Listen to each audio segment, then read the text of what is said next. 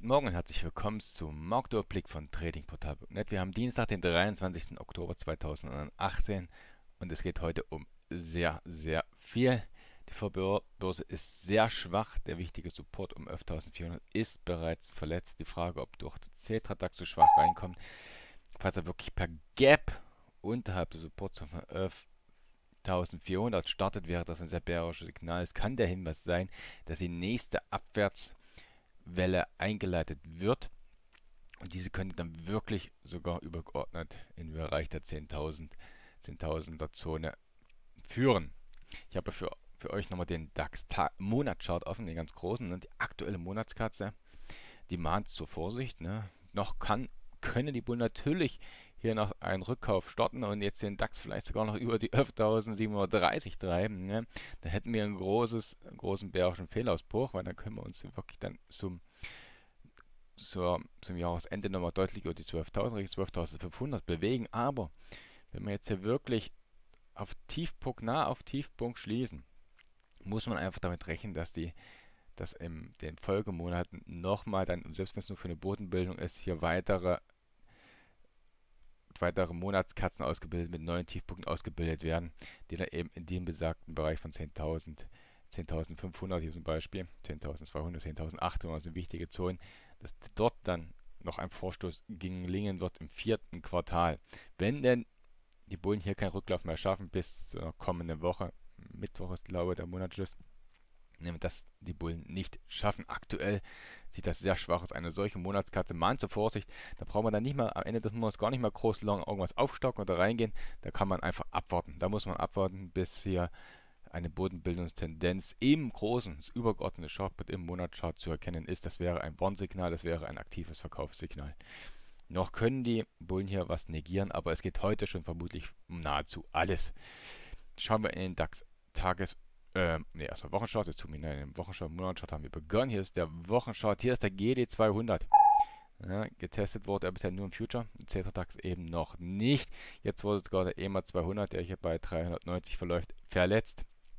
Müssen hier, ist der letzte Rettungsanker für die Bullen. Ja, ansonsten ist ja wirklich auch wirklich die SKS drückt dann immer mehr und der letzte Rettungsanker können dafür sorgen, dass hier die letzten Tore geöffnet werden und ein größerer Rutsch erfolgt. Hier habe ich auch dunkel eingezeichnet, welche Supportzonen das sind. Das ist hier die 10.800, die 10.500 und 10.200. Das wäre die nächste größere Supportzone.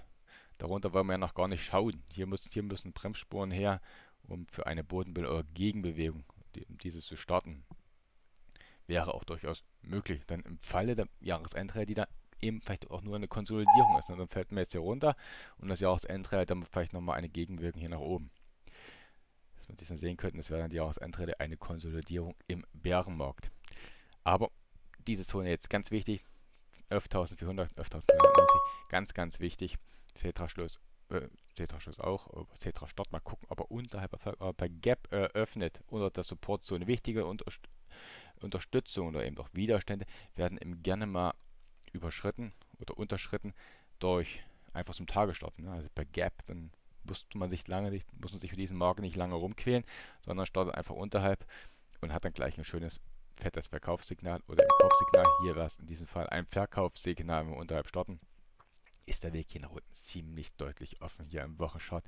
Das hält sich dann eben auch so schnell nicht auf. Dafür braucht es dann viele Wochen hier unten. Dann müssen wir erstmal runterkommen und dann hier vielleicht eine Bodenbildung beginnen. Das wäre dann wohl vermutlich eine Aufgabe fürs Rest hier. Also jetzt hier in dieser Zone, wenn die 11.400 geknackt wird, jetzt gleich wieder long einsteigen. Also das würde ich lassen. Es sei denn, man ist wirklich ganz kurzfristig im Weg. Also irgendwelche Intradays möchte ich ja nicht reinquatschen. Aber übergeordnet bietet sich das dann nicht mehr an. Ganz wichtig, der Cetra-Start in knapp einer halben Stunde.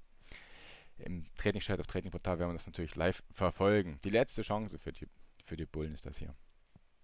Gucken wir noch hinein, kurz in den Tageschart. Im Cetra-DAX ist rechts, links der Future. Auffällig war auch, dass das Volumen im Abverkauf stets höher war. Das war etwas mahnend. Hier ist der DAX, Cetra-DAX gestern Schlusskurs der Tiefpunkt lag bei 4,97. Von dort würden wir ein Gap schlagen. Das ist schon ordentlich. Über 100 Punkte sind das aktuell. Wenn wir dann wirklich sogar unterhalb der 400 starten, das werden wir dann hier unten, wird man uns dann bereits bewegen, unterhalb der Supportzone.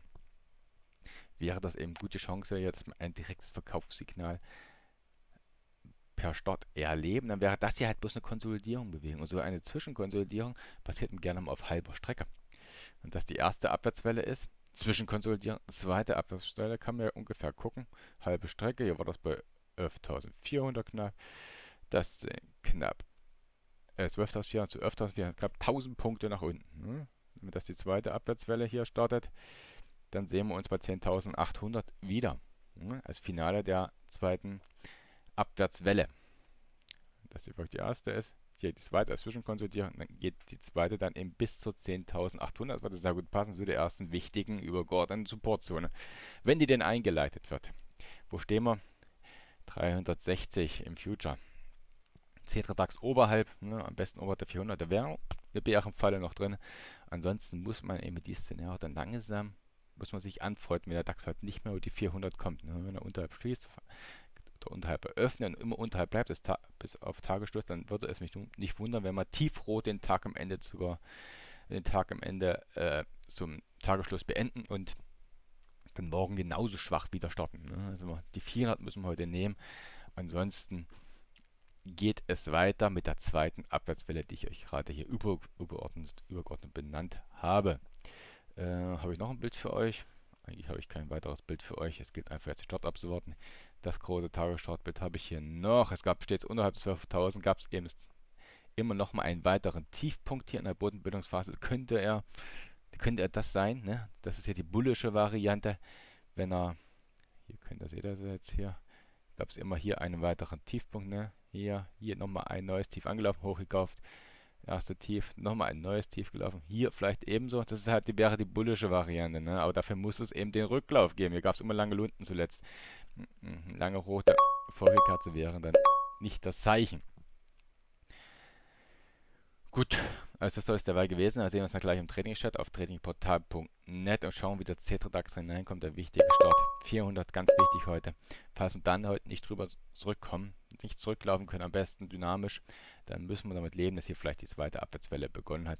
Das ist die erste Abwärtswelle. Konsolidieren, zweite Abwärtswelle.